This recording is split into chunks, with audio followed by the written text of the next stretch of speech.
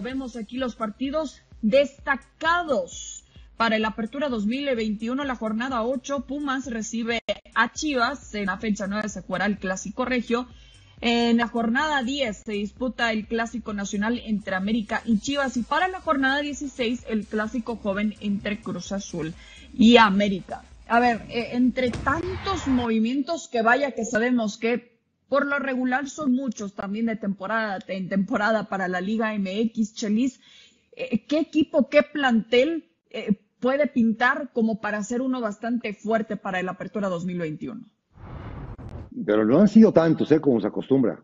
Ya no son tiempos de, andar cambiando ocho y sacando ocho. Este, estas se han, ido, se han ido más leves. Yo creo que Cruz Azul, con esta compra de, Rivero, genial, y quedarse con los mismos, más, no, no me acuerdo el apellido, la Serini o un, un, delantero de 26 años que estaba en Necaxa, regresó a... Pacerini.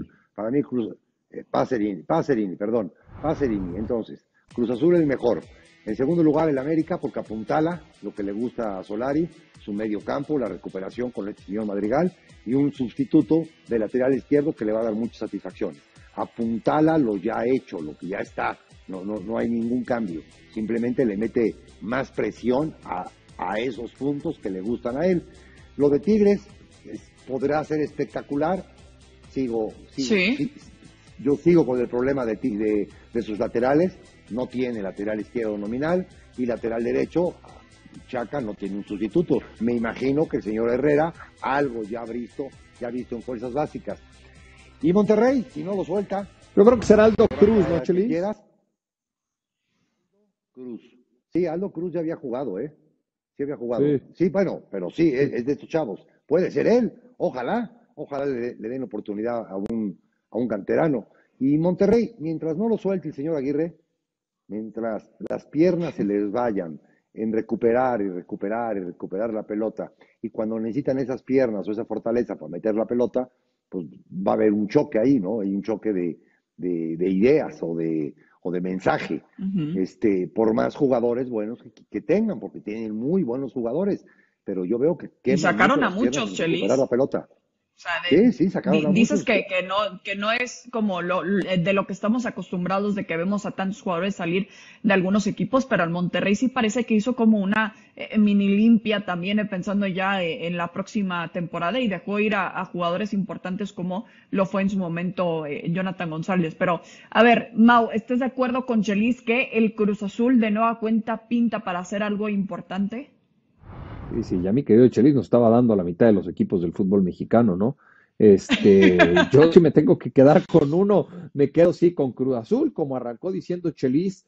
Eh, me parece que el trabajo que ha hecho la directiva para, para renovar y para poder retener a, todos estos futbolistas es, es, es, un gran trabajo, ¿no? Por parte de Álvaro Dávila y de Jaime Ordiales, más allá de la, de la gente de la cooperativa. Eh, tiene todo, tiene todo Juan Reynoso para pensar en el título de la CONCACAF. Ya están en semifinales, van a enfrentar a Monterrey en el mes de agosto y tiene todo para, para ser bicampeón del fútbol mexicano. Ojalá asuman esa responsabilidad y esa etiqueta que muchas veces a algunos campeones les cuesta trabajo.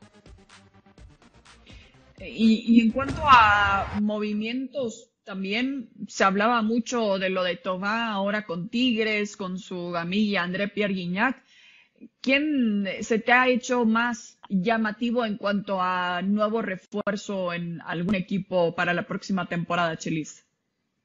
Tiene que ser el francés. Me imagino que tiene que ser el francés el que, el que más destaque dentro de, dentro de las contrataciones. Pero vuelvo a insistir, no era, para mí no era, no era lo necesario, no estoy adentro, yo nada más lo que leo, twitters y periódicos y eso y notas, ¿no? Eh, adoleció mucho de la parte, de la parte de defensa. Yo no sé si Ayala ya esté bien, este Salcedo lo estamos viendo en la selección normalmente, y no es un jugador este, totalmente maduro como para, como para tener, o, o, para estar en un equipo campeón que lo que aspira.